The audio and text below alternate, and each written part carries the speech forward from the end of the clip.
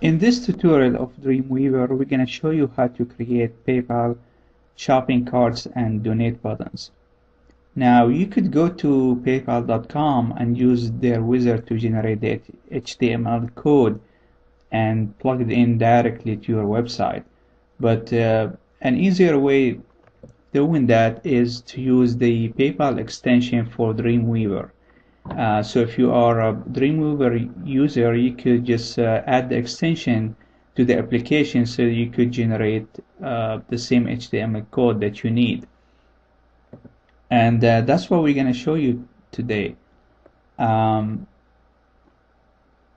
we're using here Dreamweaver CS3 and the PayPal extension doesn't come by default installed.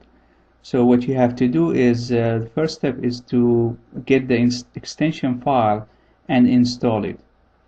The PayPal extension for Dreamweaver is uh, is ma made by a company called WebAssist.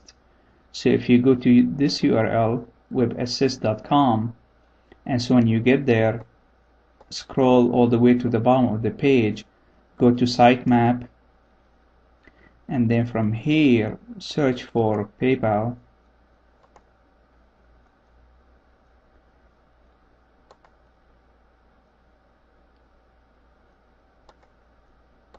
And the toolkit that you need is the PayPal e-commerce toolkit. So if you click on that you'll see that the toolkit the extension is actually free. So go ahead and add it to the shopping cart uh, it's gonna ask you to log in, register using a username and password, and then once you grab the file, go ahead and download the file and install it. Now, once you install, once you successfully install the extension, you will see that Dreamweaver adds a new tab called PayPal here. So that's when you know that the extension has been successful, successfully installed. Um, so once you get there, go ahead and create a new file and um, just gonna create a new file here. And you will see that if you click on the PayPal uh, tab here you will see uh, five new buttons here. Uh, the first one is insert PayPal buy now button so I'm gonna go ahead and click on that. And once I do that it's gonna you know take me through a quick wizard to add the HTML code for me. So in step one it's asking me for the PayPal account. So if you have um, a account with PayPal go ahead and put in your email address. If you don't uh, you can sign up for a free account with PayPal. Uh, so I'm just gonna say PayPal at domain.com and then click on next. Uh, on step two here you just uh, select the button that you want so I'm just gonna select PayPal pay now buy now. And then in step three uh, it's asking me to select um, an item um, name service. So I'm just gonna say some item. And the item number field is actually optional so I'm just gonna leave it blank. The next field is the price for the item so I'm just gonna say ten dollars and it's it's asking me here if I want to allow users to purchase more than one item. So I'm just gonna check that say yes and then click on next. Um, this is all optional but it's uh, in this field it's asking me for the base shipping. So I'm just gonna say two dollars. And the extra shipping for extra items I'm gonna leave that blank. And the handling I'm gonna leave that blank as well um, ask buyers to provide you with their shipping address and I'm just gonna say no. And uh, I'm gonna leave this check as yes to allow customers to optionally optionally um, include a note with the their payment. And I'm just gonna click on next.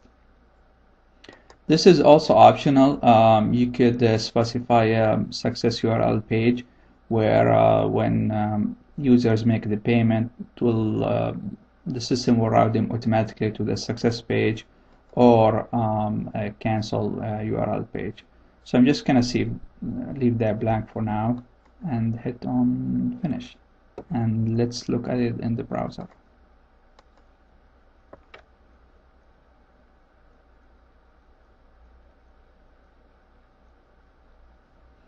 and uh, here as you see so if I click on buy now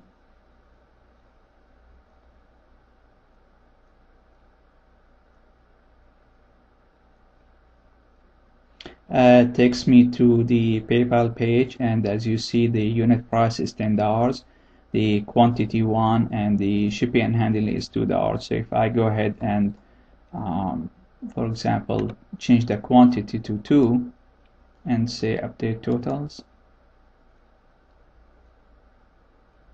that becomes $22 uh, so that's the basic idea. The other um, uh, buttons that you could add is um, uh, you could do um, insert PayPal add to cart button. So let's go ahead and uh, do this quickly. Then again it's gonna take you through the same uh, same wizard here. So next add to cart. And for this I'm just gonna put a price of five dollars and uh, no actually that's the description. Some item. And the price is five dollars. I'm just gonna say no for the shipping address and yes for the note. Leave that blank.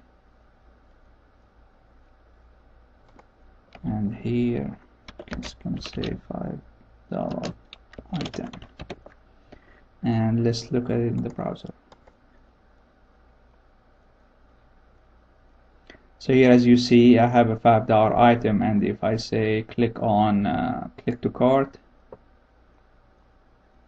add to cart actually uh, takes me here to the PayPal page